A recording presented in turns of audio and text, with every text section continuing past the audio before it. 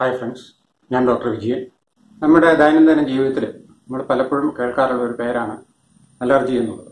നമ്മളിൽ പലരും പലപ്പോഴും പല സന്ദർഭങ്ങളിലും നമ്മൾ മരുന്ന് വാങ്ങിക്കാൻ പോകുമ്പോൾ പല അസുഖങ്ങൾക്ക് ഡോക്ടർ കാണാൻ പോകുമ്പോഴും എല്ലാം ഈ ഡോക്ടർമാർ ഉപയോഗിക്കുന്ന ഒരു ഭാഷയാണ് ഇത് അലർജി കൊണ്ടുള്ളതാണ് എന്നുള്ളത്. അപ്പോൾ എന്താണ് ഈ അലർജി?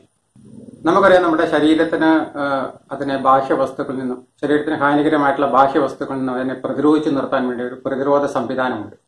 അപ്പൊ ഈ അലർജിയിൽ സംഭവിക്കുന്ന ഒരു കാര്യം എന്താണെന്ന് വെച്ചാൽ ശരീരത്തിന് ഹാനികരമല്ലാത്ത ഒരു വസ്തു ഹാനികരമാണെന്ന് തെറ്റിദ്ധരിച്ച് അതിനെ ആക്രമിക്കുന്നു.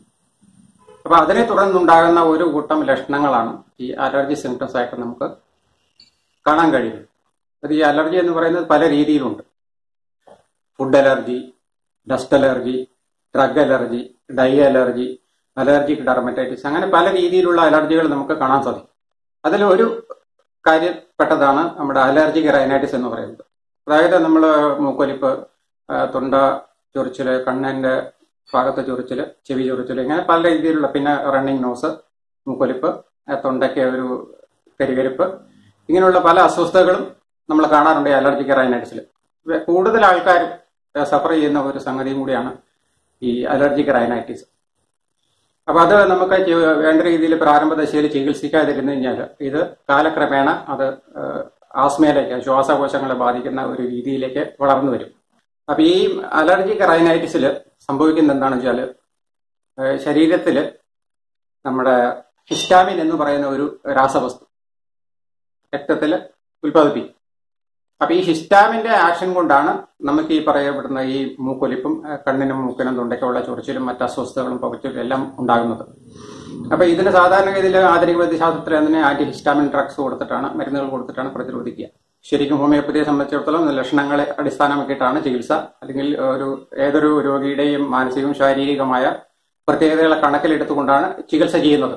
അപ്പൊ അങ്ങനെ നമ്മൾ ചെയ്യുന്നതിന് പലപ്പോഴും നമുക്ക് അതിന് സാധിക്കാതെ വരുമ്പോഴോ അല്ലെങ്കിൽ ചില പ്രത്യേക ലക്ഷണങ്ങൾ രോഗിയിൽ കാണുമ്പോഴും അതിനെ അടിസ്ഥാനമാക്കി മരുന്ന് കൊടുത്താൽ ഈ അലർജിക് റൈനൈറ്റിസ് വളരെ വേഗം സുഖപ്പെടുന്നതായിട്ട് കണ്ടിട്ടുണ്ട്. അതിൽ ഒന്ന് രണ്ട് ഉദാഹരണം ഞാൻ പറയാൻ ഉദ്ദേശിക്കുന്നത്. എനിക്കൊരു രണ്ട് മൂന്ന് വർഷം മുമ്പ് ഒരു രോഗി എന്റെ അടുത്ത് വന്നു. അദ്ദേഹത്തിന് കാർപ്പന്ററാണ് അദ്ദേഹം. അപ്പൊ അദ്ദേഹത്തിന് ഇതുപോലെ ഈ പൊടി അലർജി ഇപ്പൊ കാർപ്പന്റർ എന്ന് പറയുമ്പോൾ അറിയാലോ അത് തടിയുടെയും മറ്റും പൊടി കൂടെ കൂടെ ശ്വസിക്കുന്നു. അത് വല്ലാത്തൊരു ബുദ്ധിമുട്ടുണ്ടാക്കിയാണ് അദ്ദേഹത്തിന്. അപ്പൊ അദ്ദേഹം കഠിനമായ തുമ്മലും ജലദോഷവും ഒക്കെ പുറത്തിറങ്ങാൻ വയ്യ. ബൈക്കിൽ യാത്ര ചെയ്യാൻ വയ്യ.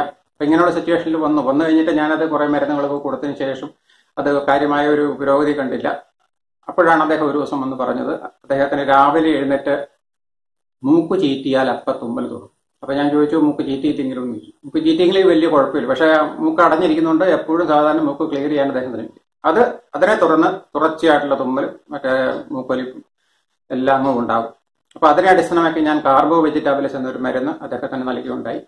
ആ മരുന്ന് കഴിച്ചതിന് ശേഷം അദ്ദേഹത്തിന്റെ തുമ്മൽ നിശേഷം മാറി അദ്ദേഹത്തിന്റെ ജോലിയിൽ പഴയ ഒരു സൗഖ്യത്തിൽ കൂടി തുടരാൻ കഴിയും ഇതുപോലെയെല്ലാം നമുക്ക് അലർജിയിൽ ഉണ്ടാകുന്ന ഒരു സംഭവമാണ് നമുക്ക് ഈ ശരീരമാകെ ചൊറിഞ്ഞടിക്കുക പലപ്പോഴും നമ്മൾ പല മരുന്നുകളൊക്കെ കഴിക്കുമ്പോൾ അതിന്റെ റിയാക്ഷൻ കൊണ്ട് നമുക്ക് കണ്ടിട്ടുണ്ട്. അല്ലെങ്കിൽ ചില ചിലർ ഇറച്ചിയോ മീനോ ഒക്കെ കഴിക്കുമ്പോൾ അത് ശരീരം തടിച്ചു വരിക. അല്ലെങ്കിൽ ചില ചെമ്മീൻ ഷെൽഫിഷ് ഒക്കെ ഇറച്ചി ഇതെല്ലാം കഴിക്കുമ്പോൾ നമ്മുടെ ശരീരം തടിച്ചു പൊങ്ങിട്ട് അത് അർട്ടിക്കേരി എന്ന് പറയുന്ന വേറൊരു വിഭാഗത്തിൽപ്പെട്ട അലർജി കണ്ടീഷൻ തന്നെയാണ്. അപ്പൊ അതിന് ഫുഡ് അലർജിയിൽപ്പെട്ട ഒരു സംഗതിയാണത്. പിന്നെ അത് കൂടാതെ തന്നെ ചിലപ്പം ഈ അധികമായിട്ടുള്ള തണുപ്പ് പേശിയിലൊക്കെ കിടക്കുക അല്ലെങ്കിൽ കൂടുതൽ തണുപ്പുള്ള പ്രദേശങ്ങളിൽ ഇപ്പൊ ഹിൽ ഏരിയസിലൊക്കെ പോകുമ്പോഴത്തേക്ക് ഇവർക്ക് ശരീരം വല്ലാതെ തുറിഞ്ഞു തടിച്ച് വന്നിരുന്നു. ഞാൻ കോൾഡ് അർട്ടിക്കേരി എന്നാണ് പറയുന്നത്. അപ്പൊ അങ്ങനെ ഒരു ഒരു ടീച്ചറിന്റെ ഒരു കേസ് എനിക്ക് കിട്ടിയുണ്ടായി. ഒരു അഞ്ചെട്ട് വർഷം മുമ്പാണത്. ഈ ടീച്ചറിന് ഈ തണുപ്പുള്ള യാതൊരു സാധനങ്ങൾ ഇപ്പോൾ ഫുഡ് കഴിച്ചാൽ പോലും തണുത്ത ഫുഡ് ഐസ്ക്രീം അങ്ങനെ എന്തെങ്കിലും കഴിച്ചാൽ പോലും ഭയങ്കരമായിട്ട് തടിച്ചു വരും. പിന്നെ കോൾഡ് ക്ലൈമറ്റ് എ സിയിലൊന്നും ഇരിക്കാനേ വയ്യ. അതുമാത്രമല്ല തണുപ്പുള്ള മഴയുള്ള സമയത്ത് ഫാനിന്റെ കാറ്റ് കൊള്ളുകയൊക്കെ ചെയ്തു കഴിഞ്ഞാൽ ശരീരം കണ്ടുവാൻ തടിച്ചു വരും. അങ്ങനെ ഒരു ബുദ്ധിമുട്ടിലായിരുന്നു.